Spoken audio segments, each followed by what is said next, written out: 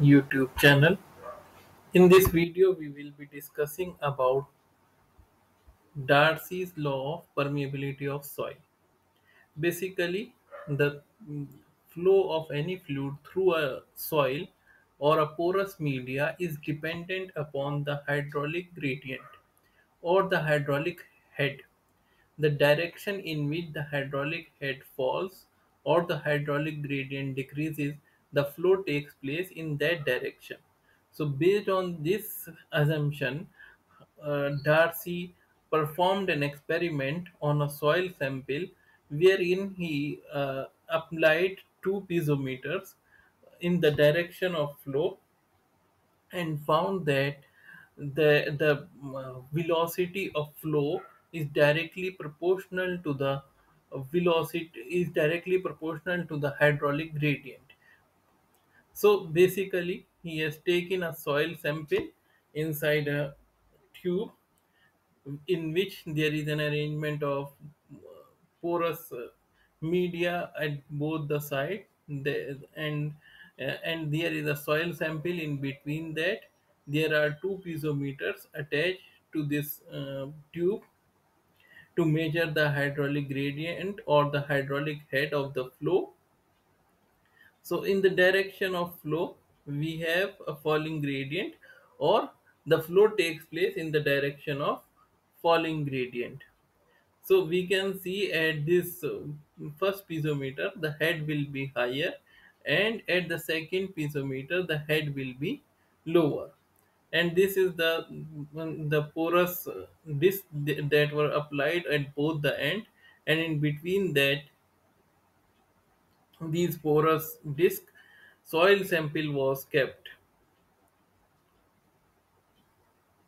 And when the flow took place through this uh, soil sample it was observed as obvious that the hydraulic gradient at first piezometer was hydraulic head at first piezometer was higher than that on the second piezometer and that is partially due to because there is soil in between. So soil particles will resist the motion of fluid through them. Actually the fluid flows only through the through the pores that are available in the soil. Otherwise the due to resistance there is fall in the head. And these these soil particles the, have voids in between them and therefore the water or the liquid that has entered here can flow through it and uh, and emerge at the other end with a falling gradient. So he conducted this experiment on the same soil sample for different hydraulic gradient or different uh, combination of heads in these piezometer, piezometer 1 and piezometer 2.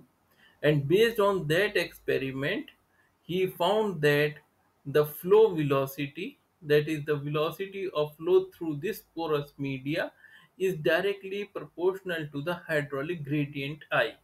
Hydraulic gradient is defined as the difference in the head upon the distance traveled by the fluid that is h1 minus h2 upon L that is the length of soil sample. So in this way he found that this uh, hydraulic gradient for different hydraulic gradient he uh, has drawn a curve between hydraulic gradient and velocity of flow and found that for different hydraulic gradient the velocity and uh, hydraulic gradient are directly proportional or are linearly correlated to each other as far as the flow remains laminar.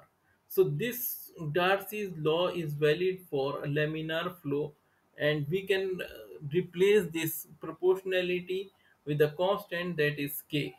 This K is defined as the permeability of soil or the ease with which the, flu- the fluid can pass through a soil sample.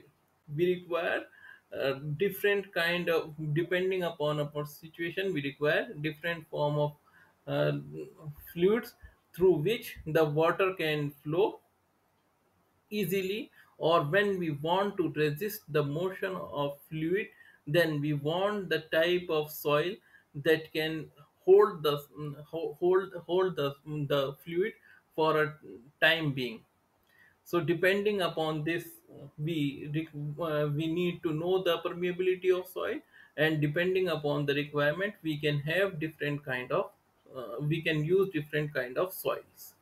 So we will discuss about different form of uh, uh, soils in the next video where we will discuss what is the range of permeability of different kind of soils.